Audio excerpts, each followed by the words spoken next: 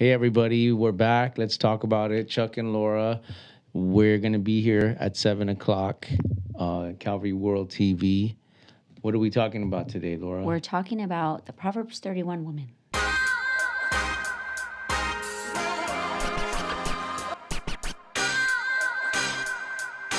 we're back. We were off for two weeks. Uh, Ruben had a commitment, our producer, and uh, Happy that- birthday, Jade. Yeah, and and the week before that, I got I got injured. I have a back injury that I re-aggravated, so I, I could barely move. But, was doing some Arnold Schwarzenegger type weight training. No, I was not. so anyway, um, we're back and we're good. We're happy to be here, and we're talking about Proverbs 31. It was Mother's Day, right? Yes, happy Mother's Day, ladies. And- Moms, grandmas, mentor moms. Yeah, so uh, it was nice. It was awesome, man. I'm wearing my OG Calvary hat, so I hope that shout out to Brian Brodersen. No, I'm just playing. I hope that uh, uh, I get that energy today.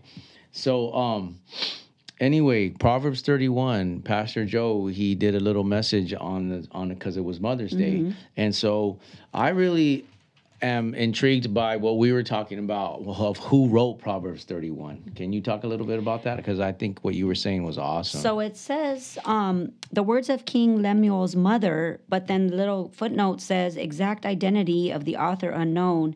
A Jewish tradition reads a king against whom there is no uprising. So it's believed that the mother of a king wrote this, and it's believed by some people to be Bathsheba, which Yeah. is Solomon's mom. Yeah. So I got to ask you a question, right? What would you say about a woman with this resume? She was amazing in high school, got straight A's. She was the prom queen, went to college, graduated cum laude, right? So if you don't know, that's pretty pretty hard to do. Um, then went on to law school and earned a JD, graduated cum laude, and then started her own law practice and had been doing that for 15 years. What would you say about that kind of career resume? I would say, how's her walk with Jesus? If you guys don't know by now, that resume is my wife's. um, but that's not what's important to her, and that's what I love about her. When I met her, she worked at a movie theater, and I worked at a skateboard shop. right. Well, no, I didn't. I worked retail. Then Cost I, Plus World Market. Then I worked at Yeah. IKEA, and then I worked at a skateboard shop. Back when skateboarding wasn't cool, I was a whosoever before it was cool. Anyway, um, when you used to actually like skateboarding, you used to get chased by the cops and stuff. And she actually used to come watch me skateboard. And but anyways, that that doesn't matter. That's in the past. that career.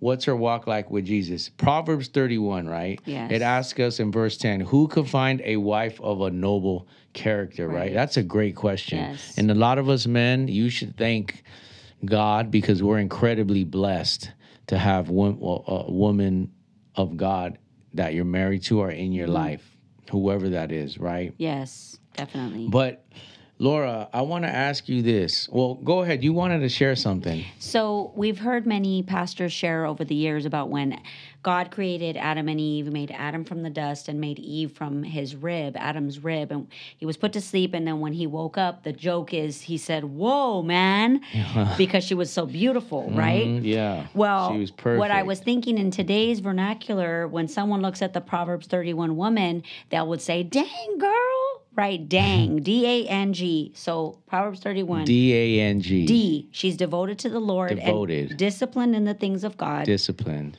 A, absolutely about the affairs of her household and family. Absolutely about the affairs. Amen. N, kind natured. She's naturally kind and works at kindness. Mm-hmm. And G, she's godly. If she works outside of the home, she's known as being on time and having a strong work ethic. G godly. if she works full time in the, in the home, she's godly, not grumpy. Mm, Not grumpy. She's not yeah. complaining about this or that, but she's God honoring and God fearing in all areas of her life.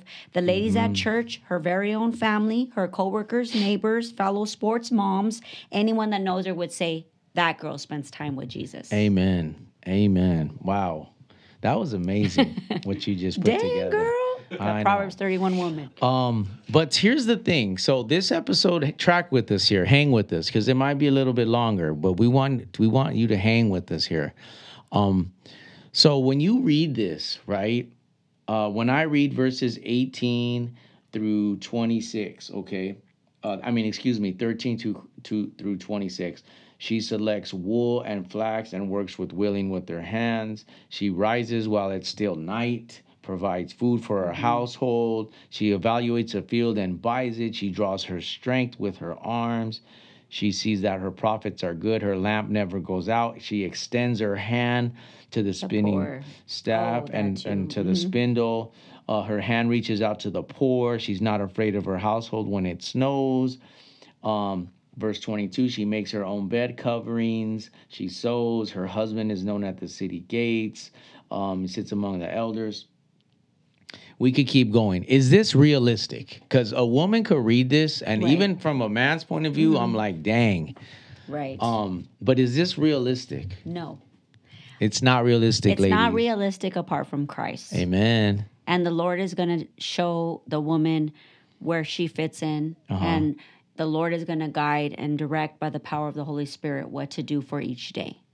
Got it. Got it. So when a woman reads this and she feels like I can't do this, what would Right. you say? I would say and I've heard this said before some women read Proverbs 31 and they want to throw their Bible across the room because they say I can't do all these Yeah. things. I don't do all these things. But what I love about God is the word is this is the goal. This is God's Amen. girl and it's the goal. So when we read what Paul says, imitate me like I imitate Christ. Yeah. How many men's events have you heard that Oh, said I heard a lot, right? a lot, a lot. And we say, I can't do that, Lord. I don't Yeah. want. And I there's some brothers I don't want to imitate them. For real. Uh, but some I want to, but some I don't. But it's the goal. The But it's the Proverbs goal. 31 Amen. woman is God's girl, and the goal is to um, do these things joyfully unto the Lord. And, and there's different so seasons too. Let's talk. Let's be. Let's talk about this.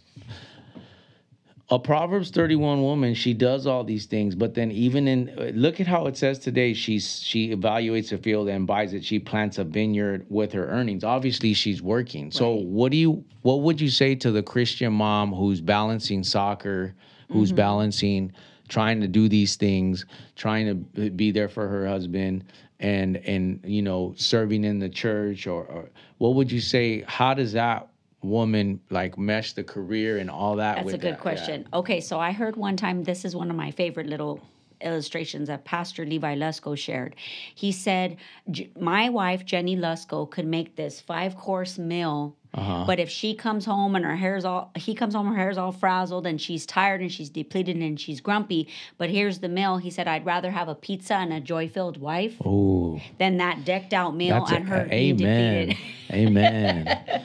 But so that's the thing. Or like a, a you would rather have a joy-filled wife yes, than your house to be like a museum. exactly. I know. So it's right? it's balancing and juggling. So, for example, if that wife is de- feeling depleted and she can't take little Johnny to the soccer game, maybe she asks Grandpa to do it, or maybe she calls Mm-hmm. on another friend to do it, so she could greet her husband when he comes home. So it's just juggling and balancing those things. But then a woman might say, like, greeting my husband to me is not important. What's important is the meal or the I clean would say, house. girlfriend, check your heart because greeting your husband is important. Now, maybe not every single day. yeah. But again, sh- what does it say? It says that her her husband is known in the gates. And that's what I wanted to talk about next. In the biblical times, they used to do their dealings and their gates. at, at the gates, mm-hmm. at the city gates. They mm-hmm. used to talk and do their dealings and do their um transactions, yes, their you business know contracts, whatever cetera, whatever it was, yeah. yeah, mm-hmm. at the city gates. And so it said that her husband was known. So obviously her husband is respected. right. And so um, I wanted to ask you um, because this happens with in with men. I, sometimes I, I I have been around men a long time in the church. You know, um, occasionally you'll hear someone kind of badmouth their wife. Okay, so a husband's desire is to be respected, but I, I have heard from you how you say sometimes women's will badmouth their husbands. Why do you think that happens? Well, unfortunately, I think it's what is that saying? Familiarity breeds contempt. You know, you're just around that person all the time, Yeah. and it's just a constant motivation, heart check, where you would say, "Lord, you know, check my heart, Mm-hmm. and and I want to respect my husband." That's the what the wife prays, and then the husband is constantly wanting to love the wife as Christ loves the church, and so you know self-sacrifice that's Yeah. what that's what makes up a good marriage so i think when people are venting or saying those things sometimes it's in jest you know just being Mm-hmm. yeah, silly yeah, true, true. but i think that you know really um, we have to be very careful and mindful because we want to build up especially our spouse Yeah. with our words we don't want to be putting them down in front of other people that's that's not right yeah, for sure for sure. Um, so it says here in verse 27, it says, She watches over the activities of her household and is never idle. yes So we talk about today, like we're we're busy, we're busy, we're busy. right How do you how do you what does this mean to like a woman who's busy with the things of her mm-hmm. household? Um, never idle, but at the same time, you don't want to be like a Martha or a Mary. Like you want to be a Mary, not a Martha. So how would you reconcile this scripture? Because it says you're never idle, Right. But the scripture says, "Be still and know that I'm God." Right. So a girlfriend and I were talking one time about how being a mom is like that acrobat that's juggling the plates right here and, and you know, Oh, yeah. juggling and like at the halftime shows at the sporting events. because you know there's so many things in motion. I mean, just think of the morning routine. This one needs to get her teeth brushed and that one needs to get Mm-hmm. lunch going and there's just so many things in motion and, and it could be hectic and chaotic. And so that's what I think it means about does not eat the bread of idleness. She's just not sitting, you know, eating bonbons all day watching soap operas. She's busy about her father's Mm-hmm. Do they still sell bonbons? They sure do. they sure do. Ghirardelli chocolates. Oh, don't know. yeah. But um, Pastor always says that you know our passion, our master passion in life is to be about our Father's business, Mm-hmm. which mirrors what Jesus said when he was twelve. Didn't you know I'm about my so Father's being business? not being idle being about your father's business right, and doing the things of the lord um Yes. so checking okay in with God. let's first, move you on know. because we Yes. we're already we, let's move Sure. on so track with this Be, hang with this guys for a minute this one's a, this one's good i feel this one um this one says in verse 28 she watches over the activities of her oh no verse yeah her verse 28 her children rise up and call her blessed and her husband also praises her so I want to ask you why why would a husband want to praise his wife? Like what is the what does not that the wife has to do cartwheels and make a steak right. steak and eggs for breakfast Right. and a crazy Meatloaf yeah, or whatever. turkey dinner, fancy, but why whatever. what why would a, a a a husband want to praise his wife? Well, What what do you think she needs to do or again, going to Adam and Eve, the wife is the helpmate.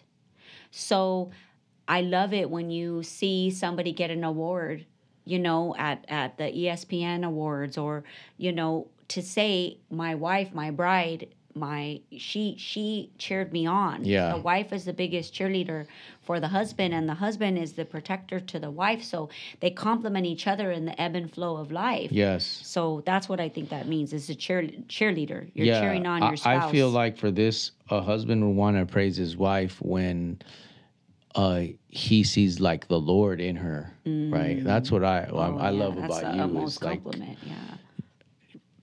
basically Laura's almost like she's like a pretty much a pastor. Like, no, I'm for real. Like she just truth bombs me all the time, and I'm grateful.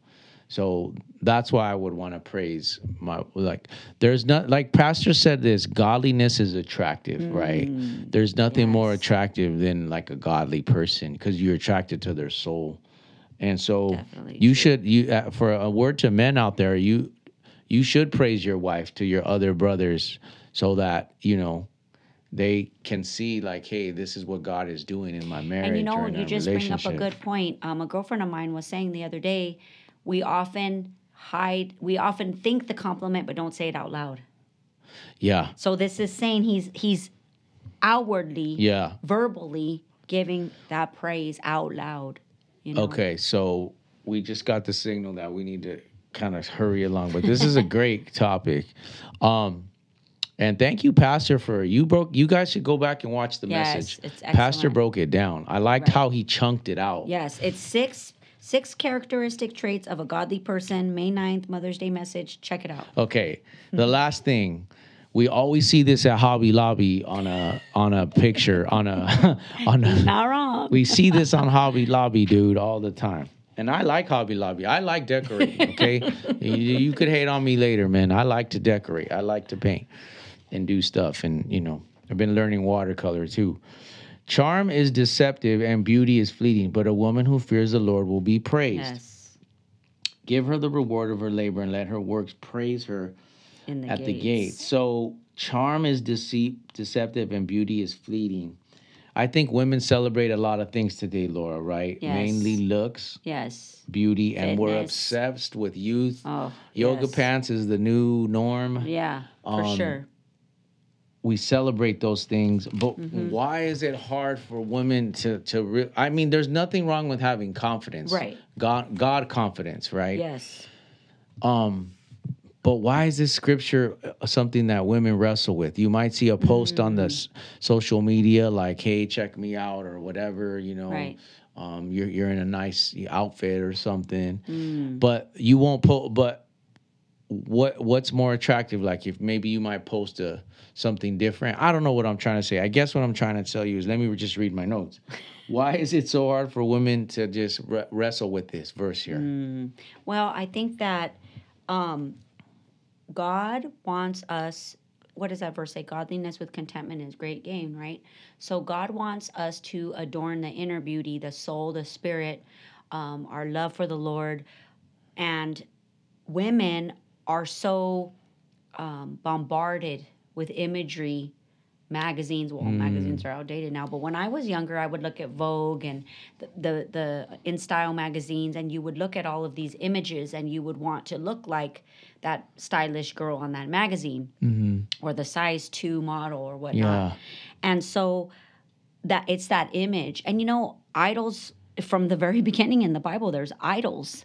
So a woman sets up this idol in her mind of what a Oh, gorgeous wow. woman of what a perfect mother really should look like You're right. and and it's like you're constantly throwing that dart of wanting to And look like her and you're mark. missing it. Yeah. but when you when you look again what is proverbs 31 woman? She's your goal ladies. She's my goal. She's our goal. So these things pass away. Charm is deceitful and beauty Yeah. is passing. But a woman who fears the lord she shall be praised and her legacy is eternal. My Precious sister in christ victoria ann papalardo passed away in february i have her picture up in the house and i think of her as one of the most godly women i've ever met that's legacy Amen.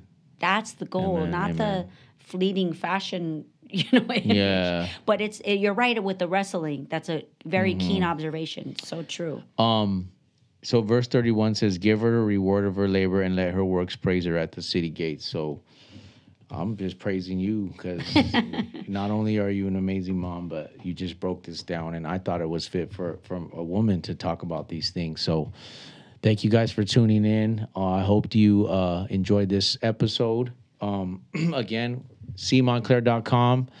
Check out our website. It has links to all of our social media accounts Yes.